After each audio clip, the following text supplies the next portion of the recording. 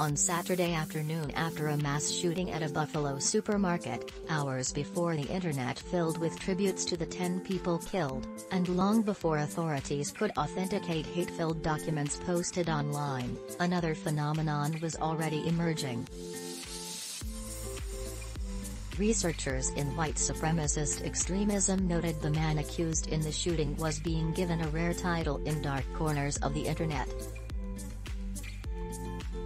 Memes were emerging depicting the shooter as the newest member of a kind of hateful pantheon. Among a cadre of online admirers, these white supremacist mass killers aren't criminals.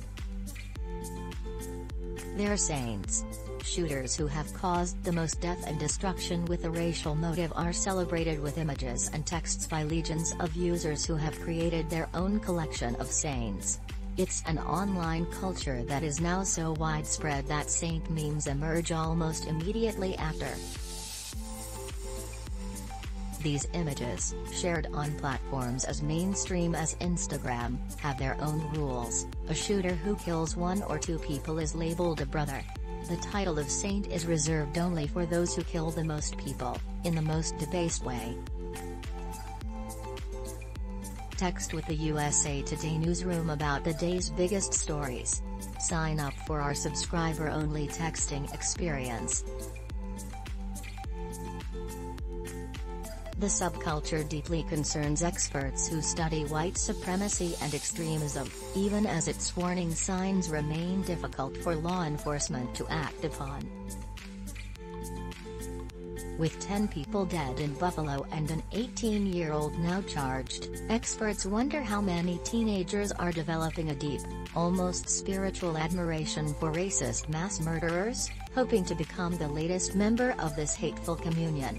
Pretty much every extremist wants to be a saint, said Kesa W. Who's going to be the next person who's willing to be a martyr? Before Saturday's shooting, a community of extremely online extremists already revered as a saint the Australian man sentenced to life in prison for murdering 51 people at Friday prayers at two mosques in Christchurch, New Zealand, in two. They celebrate as a saint the neo-Nazi convicted of killing 77 people in Norway in the summer of 2011. and a subsection of the community worships the 22-year-old Californian man who murdered six people and injured 14 more, in 2014 before killing himself. Hate groups Hate groups declined in 2021, but fringe ideology is a powerful force shaping U.S. politics, SPLC warns defining extremism. What is extremism?